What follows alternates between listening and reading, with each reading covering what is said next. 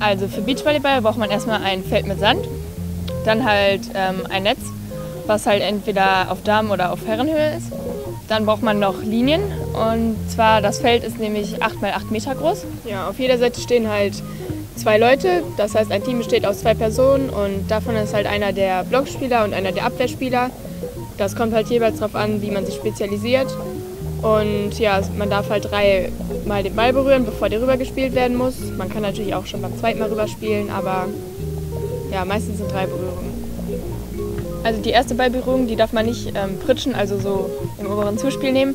Das ist verboten. Und äh, auch die dritte Ballberührung, beziehungsweise die Ballberührung, die halt drüber geht, darf man halt auch nicht rüber pritschen, sondern muss halt eine andere Technik dafür anwenden. Und Entweder ja. baggert man den rüber oder man schlägt den rüber. Man darf halt nur nicht pritschen. Ja, und dann ähm, beim zweiten Ballkontakt, bei dem Zuspiel sozusagen, wenn man das pritscht, dann muss es halt auch ziemlich sauber sein. Da wird im Beachvolleyball sehr drauf geachtet. Wenn sich der Ball halt zu viel dreht oder nicht in Körperachse gespielt wird, dann wird der Ball meistens auch abgepfiffen, ähm, weil der dann halt unsauber gespielt ist.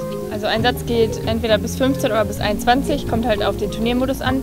Aber dann wird halt nach, also es wird immer nach dem Modus zwei Gewinnsätze gespielt. Das heißt, wer zuerst zwei Sätze gewonnen hat und wenn halt beide einen Satz gewonnen haben, dann geht es immer in den dritten Entscheidungssatz. Der geht dann halt bis 15 Punkte.